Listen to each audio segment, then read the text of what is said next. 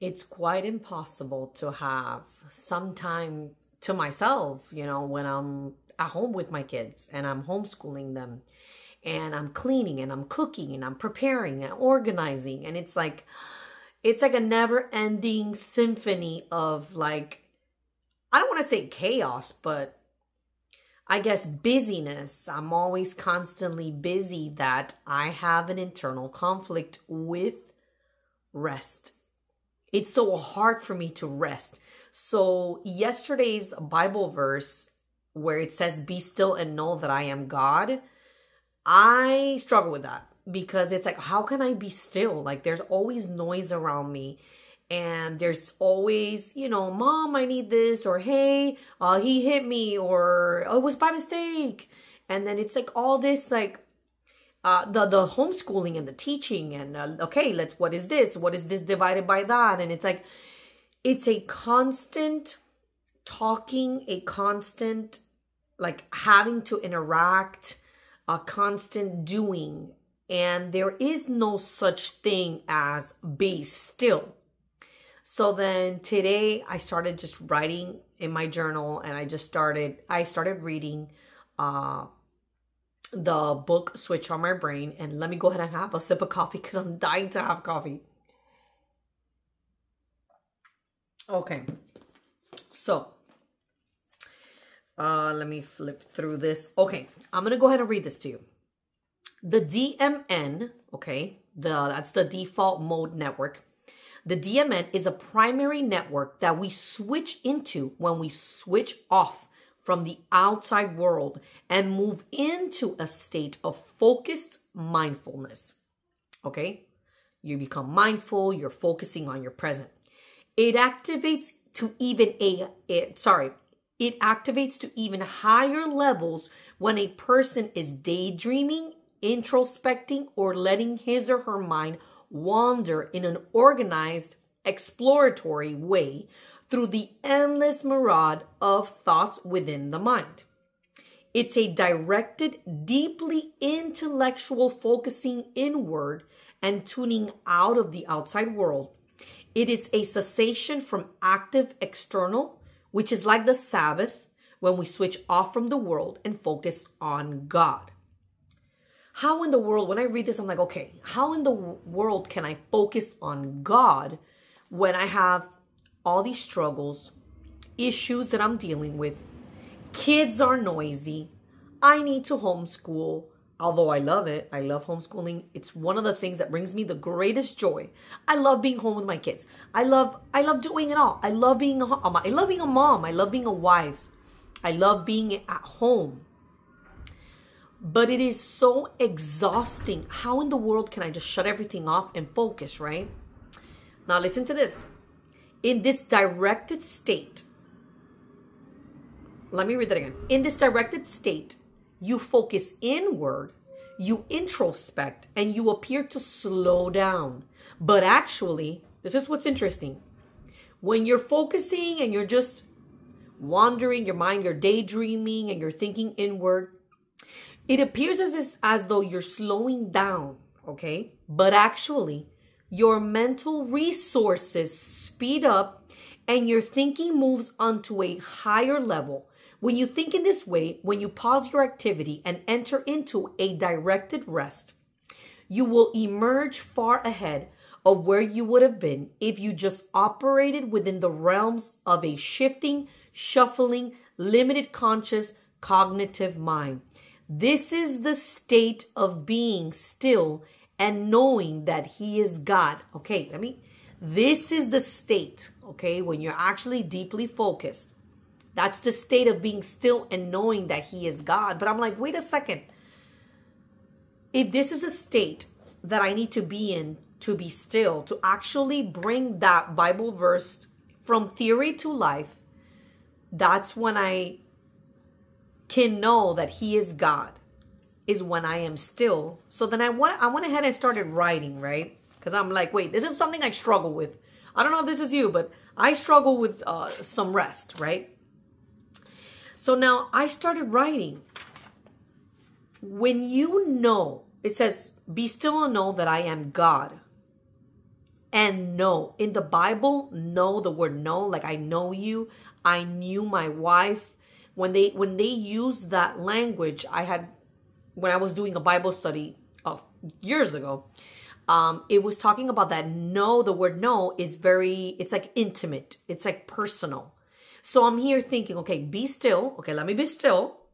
Let me just focus, you know, my thoughts on, especially when I'm journaling, which I recommend, start journaling or just write. And just focus your thoughts. Enter this deep focus on like thoughts, maybe things that you want to accomplish, maybe a project, maybe something that you want to launch, something that you want to release into the world, a dream that God has given you. Think about that. Write about that, right? But I'm thinking, okay, so let me be still and know that I am God. I need to know God. And to know God, when you know God, that's what that's what started happening to me this morning. So who is God? And I started writing everything down. I want to know God right? Because amid my chaos, amid my day to day stress, I want to be able to rest not only my mind, but I want to be able to rest in knowing that God has got me. You know what I'm saying? So, who is God? God is powerful, but He's not just powerful, He is all powerful, all knowing. He knows it all. Loving, He is faithful, He is merciful, He is just, truthful, He is eternal. He is all you need. He is all I need, right? So if he is all you need and he's all I need, it means that everything that we seek in our day to day, whether it's peace, whether it's joy, whether it's happiness, whether it's a moment to rest, it's found in who he is, it's found in God. And if we meditate on who God is, and we're like, wait a second, for me, this I, I, I want I, I hope this translates this way because I want to know, I want you to know that God has got you. Like that's what I felt this morning. I was like, wait a second. You know what God wants me to know? I got you. You know why? I, I wanted to share this because I thought I started thinking about it and I'm like, wait a second. When my kids ask me for something and they're like, Mom, you know, I want something, or they're very persistent. You know how we're really persistent and we're like, we're persistent in our prayer and we're like, oh God, you know, please, you know, I, I, need this. I want this. God, in the name of Jesus, I declare, blah, blah, blah. And we're very persistent with a specific prayer, right? Well, kids are the same way. And what I started realizing, I'm like, wait a second. What is it that I tell my kids? When I hear it over and over again, I, I tell my son or my daughter, I'm like, don't worry, I got you. Don't ask me again. I got you. I know what you want. And that, going back to that, I was able to rest this morning in knowing that I can be still, I can focus on the Lord, I can focus on who He is. He's got me, He's got you. He knows what you need. He is all knowing, He is all powerful. He can make things happen for you. He is faithful. We just have to wait for the right time, for God's timing, and for His will to be done in our lives. But that is so hard. Like resting especially when you have a busy life. It's so hard to find rest, but guess what? It needs to be at the top of your to do list. What's a priority? To just rest, sit down, be able to deeply focus on who God is in your life. Who is He to you? It's very different to know of God than to know God. When you know God, it's it all changes. Because when my kids, my kids know me. When I tell them, hey, I got you, don't worry, I got you. They're like, okay, mom. They already know that I'm planning something.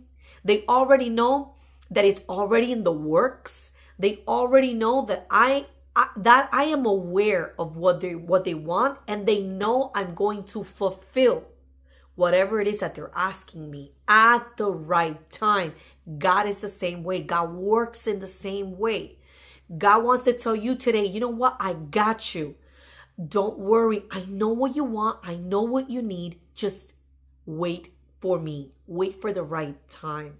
And that's what I wanted to bring you guys uh, today because I felt like, wow, this is what God spoke to me today. And I'm like, I feel like more people need to hear this This is day seven of my 21 day brain detox. I hope you're following me through, but more than following through, do it with me. If you don't have the switch on your brain, go ahead and get your copy. And guess what? I just yesterday I ordered the workbook because they have a workbook. I, I put the link down below in the description. And follow me on this journey. Do it with me. Grab a journal. Start journaling every morning. Take the time to to to to be alone, even if you have to go to your car, which is what I do. Go to your car, put some worship music on, and just start writing whatever comes to your mind, your dreams, your hopes, the things you want to change, and come up with a plan. I start writing like a little plan of how I want to make things, you know, how, how I want to approach certain things to make those changes, right? What do I want to do every day? I want to run, you know, three miles every day, a mile every day, a half a mile every day, whatever the case may be. Start writing, start resting your mind, entering that that, uh, that, that those moments of deep reflection and deep thought. Pray, read the Word of God. Let's read scriptures together. It is the best thing that you could do for your mind, for your brain, for your just your overall well-being. I hope this was helpful. I will see you on day eight. God bless. Bye. I have to record a video. Are you gonna let me record a video? Ow. Are you gonna let me record a video?